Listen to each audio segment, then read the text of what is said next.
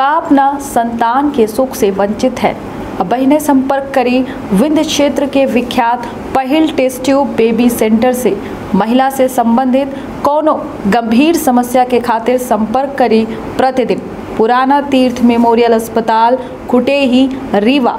मध्य प्रदेश के रीवा जिला में पुलिस प्रशासन अवैध नशा के कारोबार का लगाम लगावे में लाख प्रयास करे, बावजूद एक के सातिर अपराधी पुलिस के नाक के नीचे से अवैध नशा के कारोबार धड़ल्ले से कह रहे हैं। एक बार फिर से रीवा में कोरेक्स की बड़ी खेप पकड़ी गई। पुलिस का देखते आरोपी भागे की कोशिश करे लगे, लेकिन दलदल में कार फंसी गई और एक वजह से आरोपी गिरफ्त में आई गई। तो मध्य क्षेत्र के पहल बघेली न्यूज़ चैनल में हम पूजा अपना पंचे सब जनन का प्रणाम करी थे, शुरू करी थे बड़ी खबर से। रीवा पुलिस के द्वारा मेडिकल नशा के कारोबार में कार्रवाई करके प्रतिबंधित नशीली कोरेक सिरप की खेप पकड़ी गई है। सीएसपी नवीन तिवारी के द्वारा जानकारी दी गई कि मंगलवार रात पुलिस का जानकारी मिली रही कि नहर के पास एक गाड़ी खड़ी है जो में बड़ी संख्या में कोरेक्स रखी है। मुखबिर के सूचना पर पुलिस जब मौके में पहुँची तो आरोपी के द्वारा कार स्पीड से लेके भागे के प्रयास कीनगा लेकिन कार दलदल में फंस गए कार में बैठा एक आरोपी अंधेरा के फ़ायदा उठाए के भाग निकला, जबकि दूसरा आरोपी पुलिस की गिरफ्त में आएगा पकड़े जाने वाले आरोपी के नाम शाहरुख अंसारी है, जो नमहिया के निवासी बताया जाता। आरोपी के पास से कुल चार पेटी नशीली कप सिरप बरामद की गई है जेकर कीमत इक्यासी हज़ार छह सौ रुपया बताई जाती। बरामद की जाए वाली कार साढ़े तीन लाख रुपया के बताई जाती।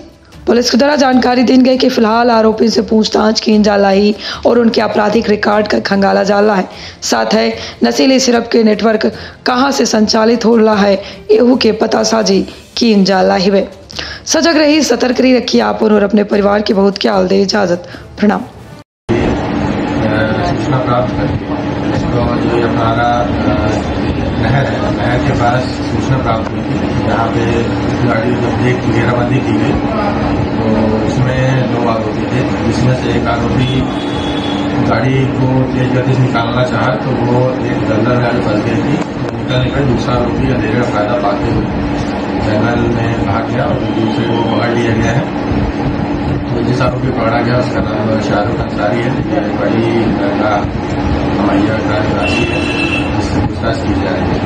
सर ये कहाँ से कहाँ कोरे से जा रही है? जिसका नेटवर्क मुख्य कौन है सर ये? ये उनसे पूछताछ कर रहे हैं इसका है उनसे पूछ कर रहे हैं पूछताछ कर रहे हैं कि ये कहाँ से आती है और इसको कहाँ कहाँ वो सप्लाई करता है। सर ये पहले भी कर चुके हैं कि पहली बार ये? वो हम इनका आपराधिक रिकॉर्ड सर्च कर रहे हैं अन्य थानों से भी मांग रहे हैं। अगर इनका रिकॉर्ड होता है तो उपलब्ध करा दिया जाएगा कितनी पेटी है कितनी कीमत है सर? कुल चार पेटी नशीली का सिरप की पकड़ी गई है। इसकी कीमत लगभग इक्यासी हज़ार छह सौ रुपये है। और जो कार पकड़ी गई है, वो इसकी कीमत लगभग साढ़े तीन लाख है कुल मिला के तीन लाख बत्तीस हज़ार रुपये है। मशीन का जो जब्त किया